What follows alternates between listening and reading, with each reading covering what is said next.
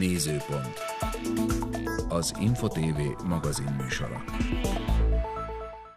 Poštovane gledateljke, poštovani gledalci, dobar dan i dobrodošli u još jedno izdanje emisije Tačka gledišta Kanjiške infotelevizije. Kraj godine je, pa je prilika da pozovemo goste da analiziramo dešavanja u našoj opštini Kanjiža tokom eto prethodnih 300, bezmalo 365 dana. Sa nam u studiju je zamenik predsjednika opštine Kanjiža, gospodin Nebojša Rakić. Dobrodošli u studiju Infotelevizije. Dobar dan svima, hvala vam na pozivu, pozdrav za sve naše građane. Hvala vam lepo što ste se odazvali na naš poziv. I sa nama je i gospodin Marko Ždero. On je član opštinskog veća zadužen za komunalne delatnosti i infrastrukturu. Također i vama do, dobrodošlica u studiju televizije. Dobar Hvala dan. na pozivu. Hvala i vama što ste se odazvali. Kao što sam otprilike najavio, sjajna je prilika da napravimo jednu malu retrospektivu u ovoj 2018. godini. Mnogo toga se izdešavalo, mnogo toga je planirano, mnogo toga je urađeno. Pa hajde da krenemo nekim redom prvo sa zamjenikom predsjednika. E, polje zdravstva je uvijek jedno onako pitanje koje interesuje sve građane opštine Kanjiža. Pa na tom polju zdravstva šta je do sada urađeno od isplaniranog i koje su to neke eventualno buduće smjernice u nekom budućem razvoju što se tiče zdravstvene zaštite u smislu investicija? Na polju zdravstva podsjetio bi građane prošle godine urađen veliki napredak po pitanju izdavanja naših apoteka. Podsjetio bih u svim mestnim zajednicama jedan ozbiljan ugovor koji je potpisan sa našom opštinom, gde smo rasteretili ozbiljnu problematiku nasleđenu, a to su dugovanja u Domu zdravlja. Tada su ta dugovanja iznosila oko 83 miliona dinara, gde danas ponosno mogu da kažem su ta dugovanja ispod 50%, znači jedan veliki napredak u tom pravcu. Investitor pod veoma rigoroznim uslovima, jedan od uslova je bio da prihvati da sve apoteke e, prorade, da se naravno izdaju lekovi na recept, da to bude ozbiljna skupštinska odluka od 10 godina, 5 godina avansa. Jedna od najprioritetnijih stvari opštini je bila da zadržimo svih 10 radnika. Tako da samim tim i avansom i realnom analizom te problematike mislim e, da smo dosta jedan veliki pomak napravili u tom pravcu što se tiče apoteka i rešili jednu, da kažem, dugogodišu staru problematiku. Najiskrenije se nadam da ćemo i do kraja e, i političkog mandata dovesti do nule ili makar blizu nule e, što se tiče stanja finansijskog u Domu zdravlja. Što se tiče investicija u okviru Doma zdravlja, prva investicija koju smo ove godine završili u vidu rekonstrukcije zgrade i energetske efikasnosti je bila na malim pijacama. E, odmah zatim sljedeća je ubrzo usledila koju smo u skorije vreme predali, a to je u Horgošu. U malim pijacama bi podsjetio je vrednost investicije nešto više od 20 miliona dinara. E, aplicirali smo sa tim projektom kod, e, u pokreni za kapitalne ulaganja gde su na našu sreću prepoznali taj projekat. Efikasno se uradila energetska efikasnost u vidu rekonstrukcije vrata, prozora, generalno grejanja sa toplotnim pumpama, najsavremeniji. E, uradila se keramika, krečenje i mislim da smo stepen zdravstvene zaštite u malim pijacama zaista podigli na jedan viši nivo. Što se tiče Horgoša, urađena je manje više ista priča, samo što smo E, investicija je nešto manja, nekih 12,5 miliona dinara. Aplicirali smo sa tim projektom u Beogradu, u Kancelariji za javne ulaganja. E, takođe e, smo tu, lokalna samouprava je učestvovala, svoj deo sufinansiranja bio kroz e, grejanje, rešavanje grejanja, koje je bilo 3 miliona dinara. E, takođe, jako lepo rekonstruisana zgrada, od fasade preko kompletne stolarije, unutrašnje krečenja, keramike, kompletno znači svih kupatila. Znači takođe jedno veliko osveženje za, za prostoriju, odnosno za dom zdravlja u Horgošu. Najavio bi usput, kada ste već pitali vezano za celokupan dom zdravlja, investicije koje se pripremamo u ovoj godini i najiskrenije se nadamo i radimo na njima, E, projektna dokumentacija je završena za zgradu, osnovnu, da kažem, baznu zgradu u Kanjiži, Doma zdravlja i pri završetku su e, projektna dokumentacija za zgradu Doma zdravlja u Trešnjevcu. To su takođe investicije na koje se baziramo da budu u nizu ovih u nastavku, vezano takođe za energetsku efikasnost i volili bismo da to u toku naredne godine, kao i ove što smo predali ove dve pomenute, da predamo i ove dve. Pomenuo bih eventualno još da je u planu e, nabavljanje jednog specializovanog sanitetskog vozila sa kompletom opremom podrazumeva se, tako da negde možemo slobodno reći da smo zadovoljni kada se zaokruži celokupna priča i sa objektima i sa otplatom duga, da idemo u jednom jako dobrom i pozitivnom pravcu. Dakle, može se reći što se tiče polja zdravstva, na više frontova se napreduje, tako, tako gledajući i gledajući sve ove investicije koje su do sada odrađene i one koje tek slede, da mnogo toga dobrog očekuje građane opštine Kanjiža. Nastavimo dalje sa investiranjem u ovoj godini, pa se obraćam vama, Marko, u vezi sa putnom infrastrukturom. To je uvek nekako tačka koja, koju svi primećujemo, koju svi volimo da bude u savršenom stanju. E, građani koji do sada nisu imali asfalt, sigurno da se raduju novom asfaltu. Koliko znamo, rađene su, jel da, i asfaltiranje u dva sela. Pa nešto u vezi sa tim investicijama i s tim dešavanjima u ovoj godini po pitanju i putne infrastrukture. Kada je u pitanju putna infrastruktura, e, slobodno mogu reći da smo imali dosta, dosta solidnu godinu kada je u pitanju ulaganje u ovu vrstu infrastrukture. E, pored redovnih održavanja, što svake godine iz budžeta izdvajamo za neke popravke na teritoriji cele opštine, sami znamo da e, je opština razuđena i koliko imamo kilometara putne mreže, e, oko nekih 240-250 kilometara putne mreže, od čega 70% pada na teret održavanja naše opštine i našeg javnog preduzeća koji upravlja tim putevima.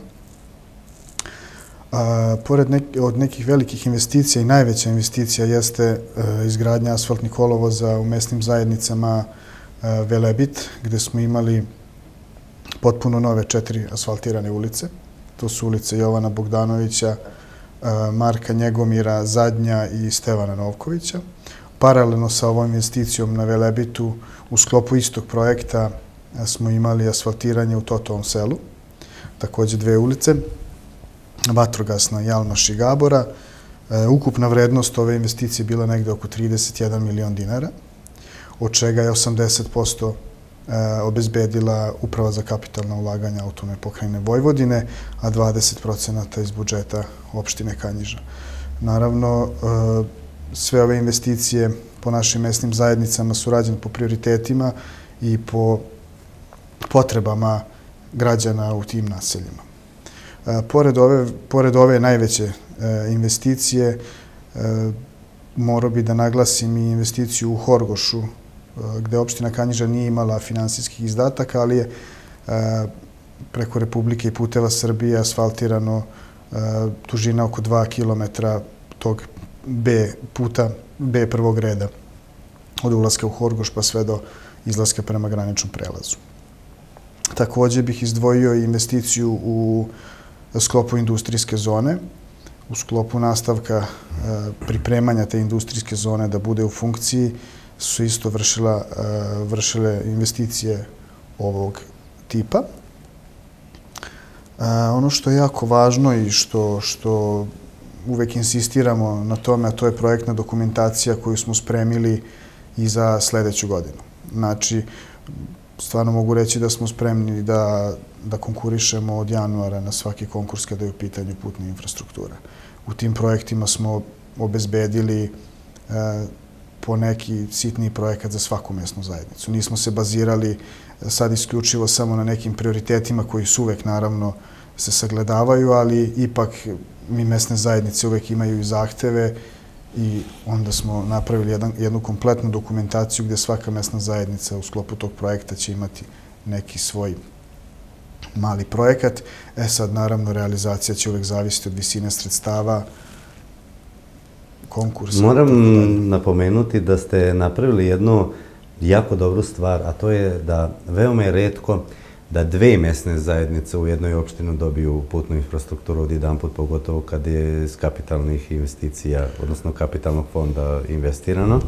To je pa jedna, to je jedna zanimljiva priča, zahvaljujući zamjeniku predsjednika koji je na neki način prilikom predaje projektne dokumentacije ipak uspeo da, da imamo dve mesne zajednice koje uopšte nisu bukvalno ni povezane, jer obično se na tim konkursima gledaju putni pravci koji su povezani. Na osnovu njih možemo konkurisati. Ovo su skroz različite dve mesne zajednice, ali eto, ipak Ipak je pošlo za rukom. Pa to sam hteo samo da čujem, dakle, ne svakidašnje stvari u pitanju.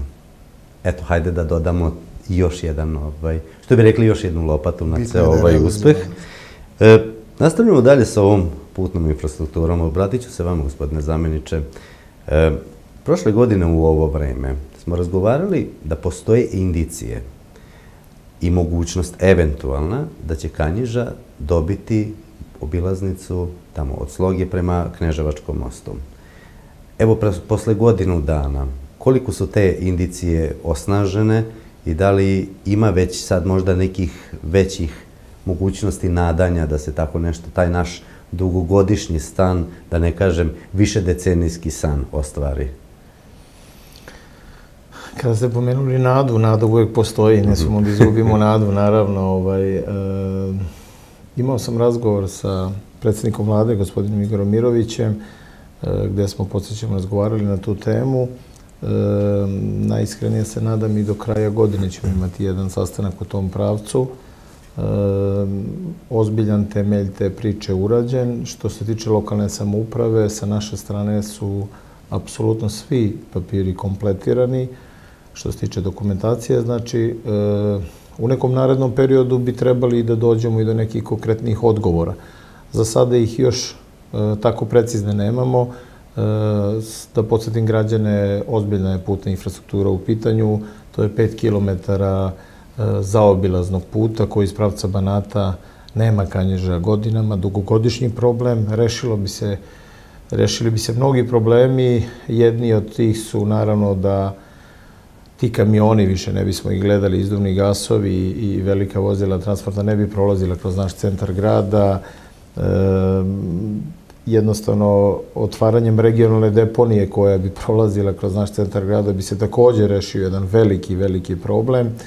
Međutim, kada pričate, to je jedna investicija koja je reda veličine preko 5 miliona eura. Moramo da budemo realni i svesni da to nije niti lagana odluka. Tada sam sa predsjednikom vlade razgovarao u kom bi pravcu išlo ostvarenje toga, gde mi je tada predložio da bismo gledali da to bude da jedan deo na sebe uzme i Republika i praktično trojno da se završi, kao i pokrajina i naravno neki deo manji sufinansiranje, da kažem, učešće u cijeloj toj priči i lokalna samouprava. U nadi da će se taj projekat i realizovati, tačnije da će neki konkretnih odgovora biti sada kada su u toku nacrti, odnosno realizacija budžeta za 2019. godinu, e, se najiskrenije nadam, kao što i sami ste na početku rekli, da će taj naš projekat ubrzo ući u neki uži izbor, da kažem, jer je to, ponavljam, ozbiljna putna infrastruktura za našu pokrajinu i nadam se će te realizacije doći. Da li će ta realizacija biti već u ovom budžetu ili narednom, meni je samo drago da je uzeta u ozbiljna razmatranja i nastavljeni su razgovori u tom pravcu. Da stiče se utisak da svi nekako užurbano, sve lokalne samouprave u Srbiji se trude da poboljšaju svoju putnu infrastrukturu, pošto smo svedoci da dugo godina nije bilo ulagano u istu i sada se može primetiti zadnjih nekoliko godina koliko se intenzivno radi da ne da počnemo od koridora kao najznačajnijih e, putnih pravaca u našoj zemlji, pa sve do lokalnih, regionalnih, magistralnih e, putnih pravaca, pa verujem da je veliki red onda u pokrajini da čekaju mnogi predstavnici lokalnih Apsolutno samouprava. se i slažem sa vama. E, Što se tiče putne infrastrukture u opštini Kanjiža, moram da podsjetim da smo daleko ispred ostalih opština, koliko to građani znaju ili ne, znači da je e, mnogo veći stepen urađenosti putne infrastrukture u opštini Kanjiža nego recimo u susednoj opštini Novi Kneževac, čak i u Senti, Čoki i, i tako dalje. Tako da kažem, još jednom ponavljam, radi se na tom pitanju.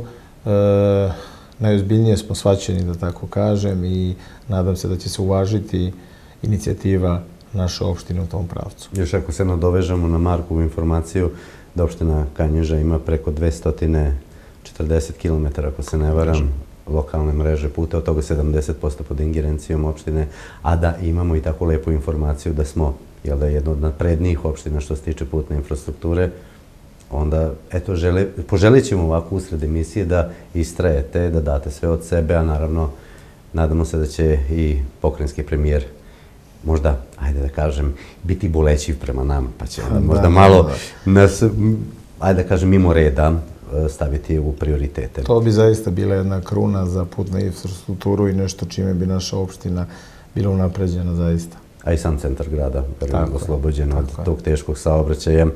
Nastavljamo dalje sa ulaganjem, sa infrastrukturom.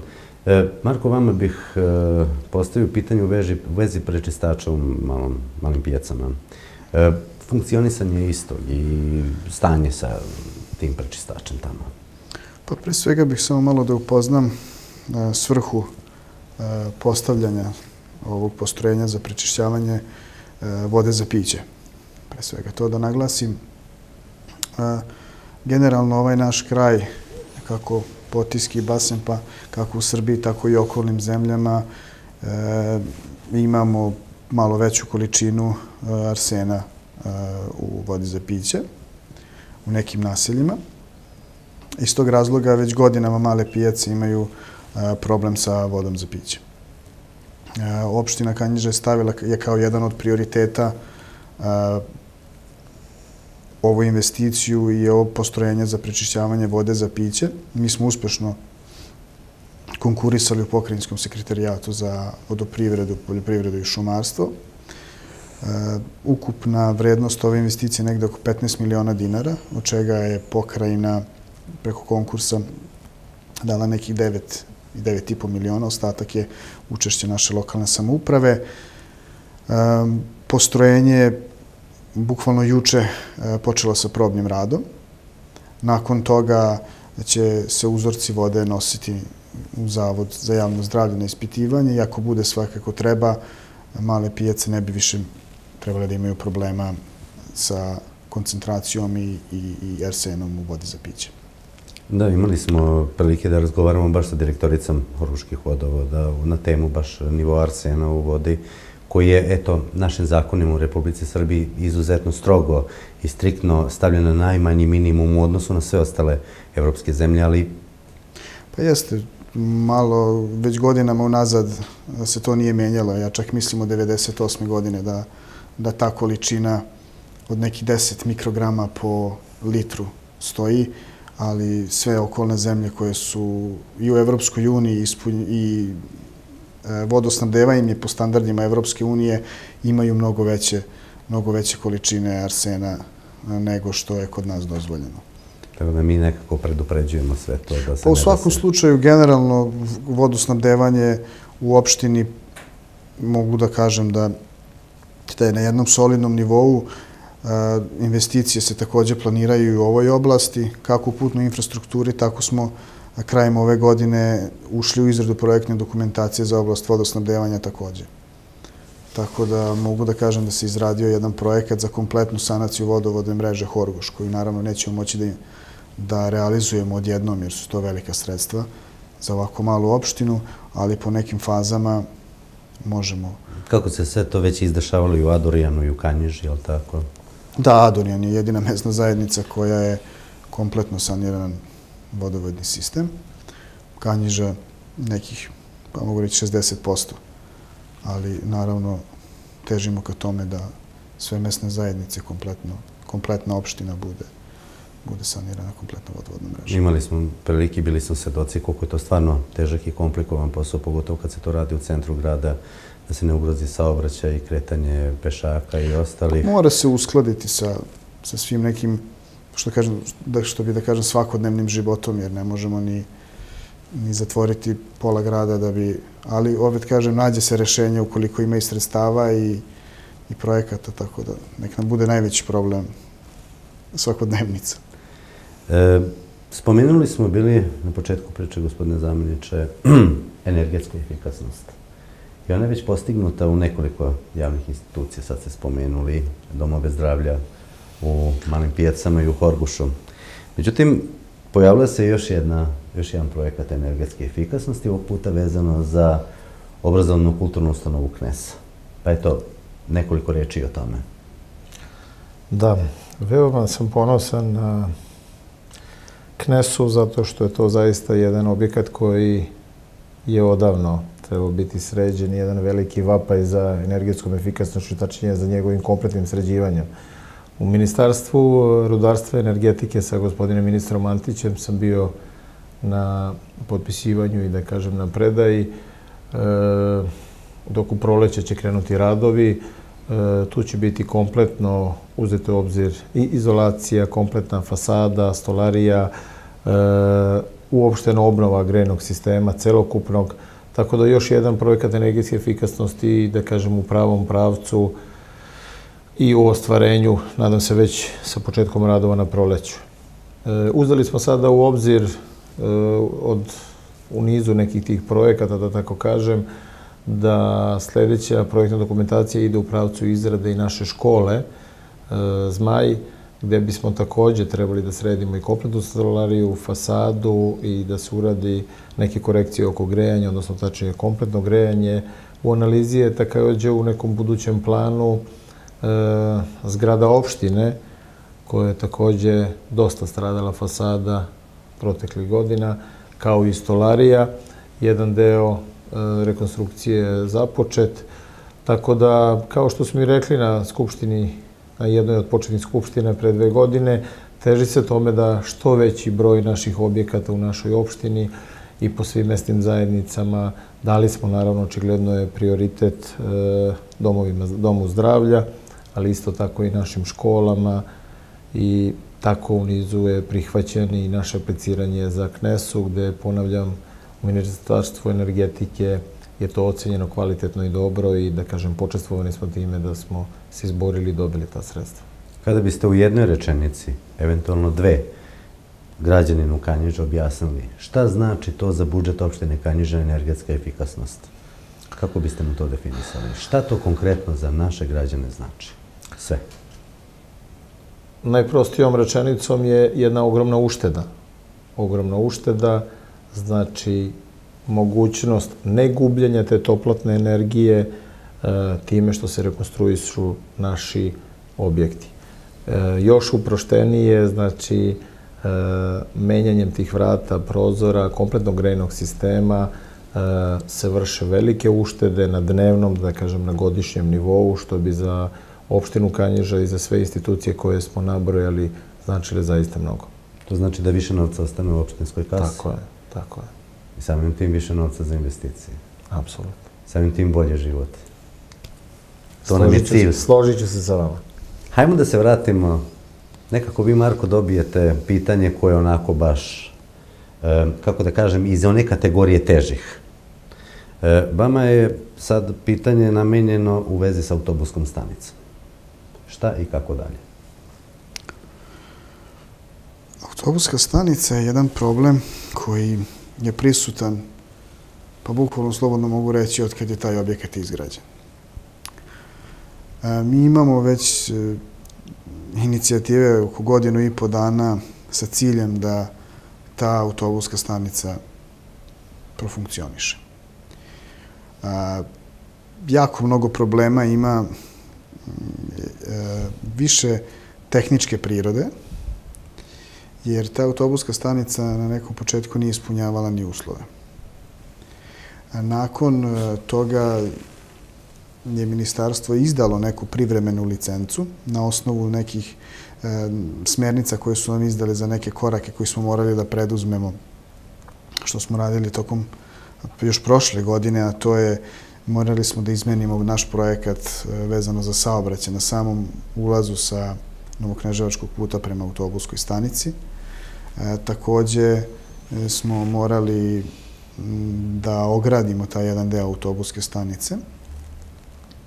I još tih nekih sitnih detalja sada da, da ne nabrajam. E, međutim, nikako tu da nađemo neku, da se usaglasimo sa ministarstvom, jer najotvorenije nama kao opštini ne znači ništa da autobusku stanicu otvorimo sutra i da bude funkcionalna ukoliko autobuska stajališta u centru grada ne zatvorimo jer mi nemamo neki mehanizam da, da nateramo prevoznike da koriste isključivo autobusku stanicu.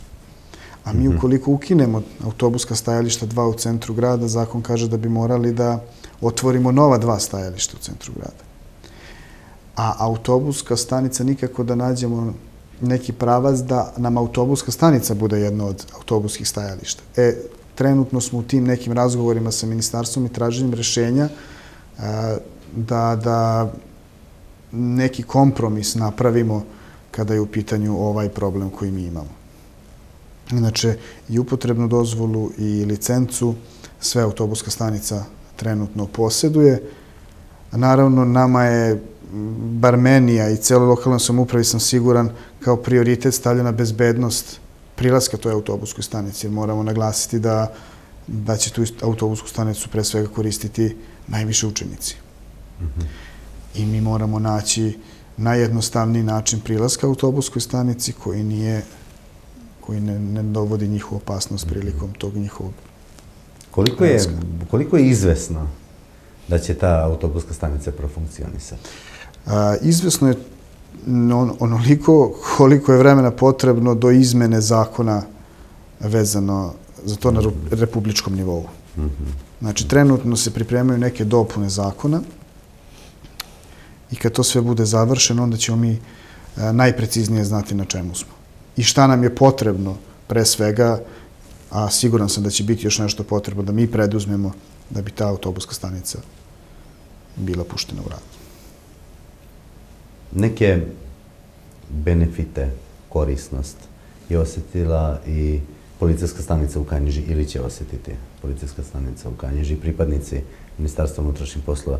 Naime, radi se o primopredaji vozila policiji. Pa eto, zamjeniče nekoliko reči i o tome, eto kao preostalo pitanje u ovoj emisiji koje se polako već vidi kraj, da smo već polako 30 minuta ispunili sa ovim interesantnim pitanjima i odgovorima. U budžetu naše opštine e, se sprovodi kroz Komisiju za bezbednost saobraćaja svaki godina određeni broj sestava e, koji naravno ta komisija zaseda i među njima je i član policijske stanice e, gde se analizira šta je preko potrebno za našu policijsku stanicu. To su sredstva koje 50% idu ka ministarstvu, a 50% sredstava se ostaje na lokalu. E, kroz analizu prethodnog perioda, da kažem prethodnih godina, s obzirom da imamo zaista jedan korektan odnos sa policijskom stanicom kao i sa policijskom upravom Kikinde, je došlo do zaključka da su u dosta lošem stanju e, vozila, brojnost vozila potrebna našoj policijskoj stanici i došli smo do jednog zajedničkog rešenja, to je nabavka dva vozila. E, nekih milijoni i osamsto hiljada dinara e, smo odredili, odnosno izdvojili za ta sredstva, odnosno za te automobile. U pitanju su dva vozila. E, u skorijem periodu će biti izvaniča primopredaja. Vozila se već nalaze u našoj policijskoj stanici. Čeka se samo saglasnost i odobrenje ministarstva oko registracije i tog dela.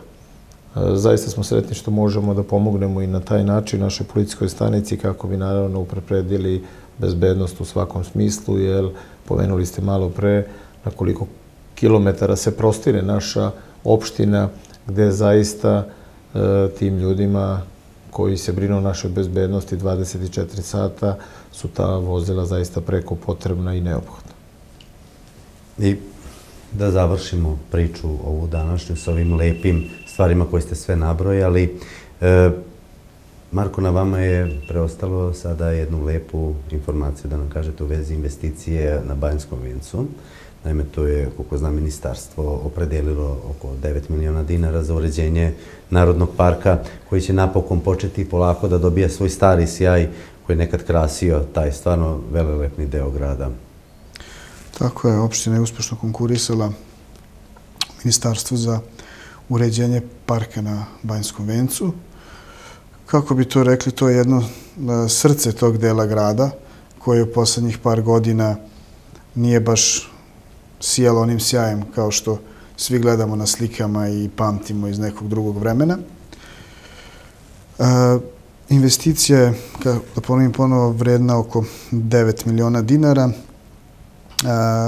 U sklopu nje će se raditi kompletno novi imobilijar u parku, znači klupe, korpe za otpadke i tako dalje. Ono što, što je dosta važno jeste da će se rekonstruisati one staze koje su oko sadašnje zgrade Vigadoa. Ostatak nekih sredstava će se preusmeriti ka zelenilu, pre svega. I naravno u sklopu svega toga je morao biti stavljen jedan moderni zalivni sistem kako bi to zelenilo se i održalo i kako bi kompletna jedna slika imala, imala smisla i bilo onako kako za turiste, tako i za sve naše građane. Jedan jako lep park. Nadam se da se sa tim neće stati, jer to kao biser grada stvarno treba da predstavlja nešto najlepše što možemo predstaviti našim gostima. Poštovano gospodo, hvala vam na gostovanju u studiju. Imali smo prilike da čujemo stvarno lepe informacije u ovoj 2018. godini koje su se izdešavale sa nadom da i sledeća godina će biti ništa manje plodonosna. Zahvaljujem se na vašem gostovanju i naravno bit ću slobodan pa vas pozvati ponovo u ovaj isti studio sledeći put da ćemo pričati o nekim novim investicijama, novim ulaganjima i novim lepim vestima za građane opštine Kanježa. Hvala vama na pozivu i ovom prilikom bi čestito i građanima predstojeće praznike i hvala vam još jednom. Takođe, hvala na pozivu i pridružio bih i čestitkama kako božićnim, tako i novogodišnjim praznicima. Hvala vam lepo. Poštovane gledateljke, poštovani gledalci, imali ste prilike da gledate još jednu tačku gledišta. Zamenik predsednika opštine gospodin Nebojša Rakić i član opštinskog veća zadužen za komunalne delatnosti i infrastrukturu gospodin Marko Ždero. Do gledanja, ostanite dalje uz Infoteleviziju. Nézőpont. Az Info TV magazin műsora.